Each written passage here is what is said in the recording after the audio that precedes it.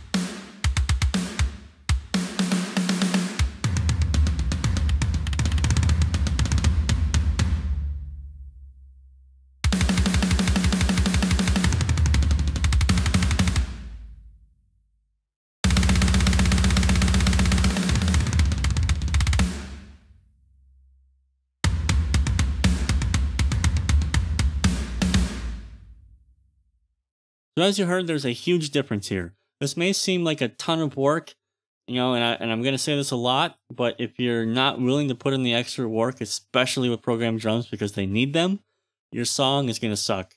Or at the very least, it'll suffer a lot because drums are literally the heart of a song, the heart of a mix, followed closely by bass. Everyone says it's all about vocals, it's all about vocals, vocals, vocals, vocals, blah, blah, blah, but if you have great vocals but a crappy drum sound, you're going to have a crappy song. So you really need to put the time into this. In the beginning of the video, I said I was going to show you the secret weapon. Well, this is the secret weapon. Spending a lot of time and manually doing it by hand. That's the secret weapon. I personally don't use any pre-written MIDI grooves or anything like that because I just don't want to. Uh, I always write every single drum hit with a single mouse click at a time, just the way I've been doing it since I started in Cakewalk Pro Audio 9 in year 2000. And it's just the way I prefer doing things, and it probably won't change. Anyway guys, that does it for this video. I hope now that your drum parts will take on an extra bit of realism now that you know exactly what you need to do to make them sound real. If the video was helpful for you, a like rating is always appreciated. Be sure to subscribe if you haven't already, because videos just like this one are always on the way. Thanks a lot guys, have a good one.